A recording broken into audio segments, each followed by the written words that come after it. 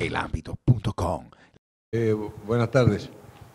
Yo, de la misma manera como criticamos, este, aunque yo no había hecho ninguna crítica con respecto a los arbitrajes así fuerte ni de medida, dije lo que pensaba en Manizales, también hoy es bueno que digamos que con un arbitraje así da gusto ganar, empatar o perder, lo que le toque a uno, porque ahí sí hablamos de fútbol. Así que yo este, me voy contento primero que nada por eso, segundo porque creo que el equipo fue respetuoso en el, desarrollo del partido, eh, manejamos la pelota sin apremios, sin apresuramiento, sin, sin este, dar posibilidades al rival de entrada de que nos vaya a contraatacar o a cometer errores.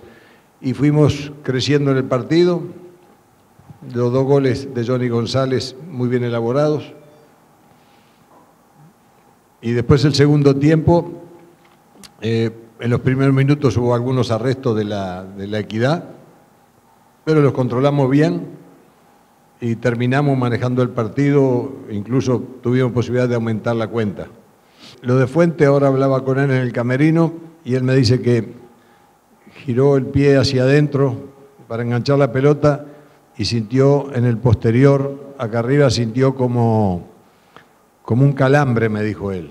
O sea que aparentemente, aparentemente, hay que esperar el informe de, la ecografía mañana, la revisión del médico.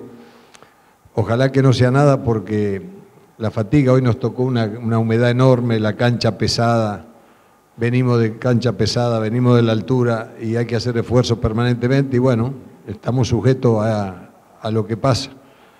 Y con respecto al miércoles, la intención siempre es poner lo mejor que tengamos en cancha. Tenemos una ventaja que estamos en Barranquilla, no nos vamos, vamos a seguir concentrados.